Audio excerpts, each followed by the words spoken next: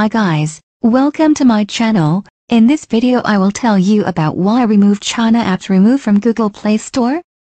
Remove China apps removed from Google Play for violating its deceptive behavior policy.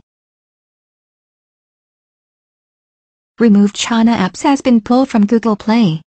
According to Google's deceptive behavior rules, an app cannot encourage users to remove third-party apps, and do it was suspended, as the app was designed to help users uninstall Chinese apps from their Android smartphones. It was published on Google Play on May 17 and came into the limelight last week. The removed China apps even emerged as the top trending app on Google Play and crossed over 50 lakh downloads. The app notably came to its existence at a time when anti-China sentiment is at peak in the country, for reasons including the coronavirus outbreak and India-China border dispute. This is the second high-profile app to be removed from the Google Play Store this week. Just a few hours before Remove China Apps was removed, the Mitron app was also removed from the store. The app was removed for violating the store policies, after surging past 50 lakh downloads fueled by anti-China sentiments. The Indian Express first reported about the removal of the Remove China Apps app, but since then more details about the reasons for the removal have come to light. The makers of the removed China apps, OneTouch Labs, confirmed its suspension from Google Play through a tweet posted on late Tuesday. The Jaipur-based company claims on its website that while a large number of people were using the app to remove apps made by Chinese developers, it wasn't aimed to promote or force people to uninstall any of the application, s, and develop for educational purposes only.